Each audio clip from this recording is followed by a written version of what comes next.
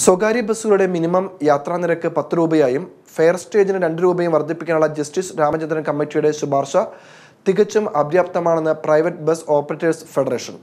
ശുപാർശ പുനഃപരിശോധിച്ച് ആവശ്യമായ നടപടികൾ സർക്കാർ കൈക്കൊള്ളണമെന്ന് സംസ്ഥാന പ്രസിഡന്റ് എം ബി സത്യനും ജനറൽ സെക്രട്ടറി ലോറൻസ് ബാബുവും പത്രസമ്മേളനത്തിൽ പറഞ്ഞു. സ്വകാര്യ ബസ് വ്യവസായത്തെ ശുപാർശ ഒരു തരത്തിലും സംരക്ഷിക്കുകയില്ല. കോവിഡ് മഹാമാരിയുടെ വ്യാപനത്തെ തുടർന്ന് മാർച്ച് ഇരുപത്തിരണ്ട് മുതൽ സംസ്ഥാനത്തെ സ്വകാര്യ ബസ്സുകൾ സർവീസ് നിർത്തിവച്ചിരിക്കുകയായിരുന്നു. മെയ് പതിനാറിന് കർശന നിയന്ത്രണങ്ങളോടെ പൊതുഗതാഗത മേഖല ഭാഗികമായി ആരംഭിക്കുന്നതിന് സർക്കാർ നിർദ്ദേശിക്കുകയും യാത്രാ നിരക്ക് അൻപത് ശതമാനം വർദ്ധിപ്പിക്കുകയും ചെയ്തു. തുടർന്ന് ഇളവുകൾ പ്രഖ്യാപിക്കപ്പെട്ടതോടെ നിരക്ക് വർധന പിൻവലിക്കുകയായിരുന്നു. ഡീസലിന് ഓരോ ദിവസവും വില വർദ്ധിക്കുന്നതായും ലോക്ക്ഡൌൺ കാരണം കൂടുതൽ യാത്രക്കാരെ കയറ്റാൻ സാധിക്കാത്തതും സ്വകാര്യ ബസ് വ്യവസായത്തെ ഓരോ ദിവസവും പ്രതിസന്ധിയിലേക്ക് കൊണ്ടുപോവുകയാണെന്ന് ഭാരവാഹികൾ പറഞ്ഞു. ഹൃദയങ്ങൾ കീഴടക്കിയ വിശ്വാസം. Krishna jewellery gold and diamonds C building Chalakudy.